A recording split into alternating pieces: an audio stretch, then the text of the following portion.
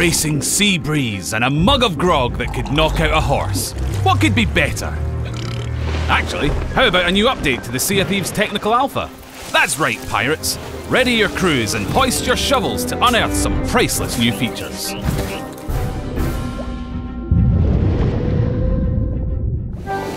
Since we started the Sea of Thieves Technical Alpha, thousands upon thousands of players have been adventuring on the waves, scouring shipwrecks and cryptic clues, and rising above their rivals to lay claim to eye popping loot. And Voyagers in this fantastical world will find their stories influenced by the other players who share it with them. So these are some of your new tools for richer interaction with pirates whose lives converge with yours. Non-verbal communications. There are plenty of reasons why a pirate might stay silent, like a mouthful of stolen jewels or an intense outbreak of gingivitis.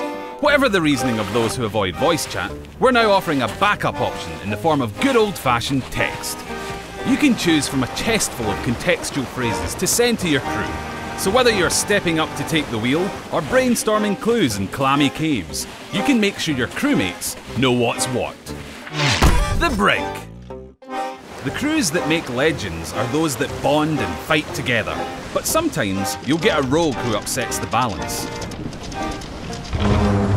Now, you might say that mutinous dogs are just part of the pirate life, but we believe in the pirate code. If you've got a serial troublemaker on your ship, you can now vote to banish them to the brig, where they'll stay until the remaining crew members decide they've served their time. And if you do end up in the brig yourself, you can still speak to your crew and try to justify your filthy misdeeds. Better make it convincing.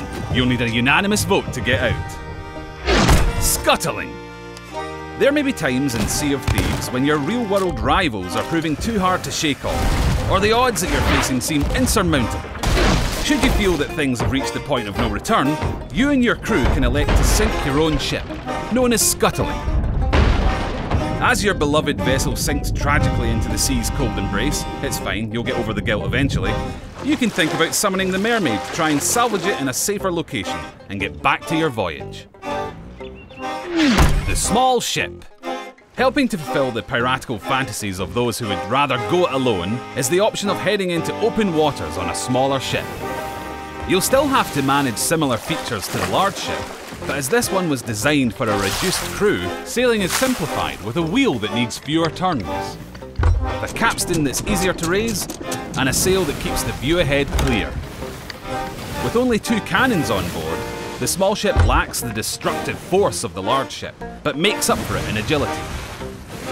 You'll be able to turn tighter circles at speed, letting you outmaneuver bulky rivals and give them a broadside where it hurts. If it doesn't work out, swing the prow around and run for it. Bravely, of course. These and other features are available to players now, with plenty more to come. The release notes are available in our forums, and if you want to get in on the action, join our Insider program at www.seaofthieves.com forward slash insider for your chance to play before launch in early 2018. And now, time to go!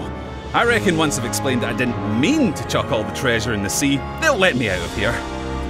Surely.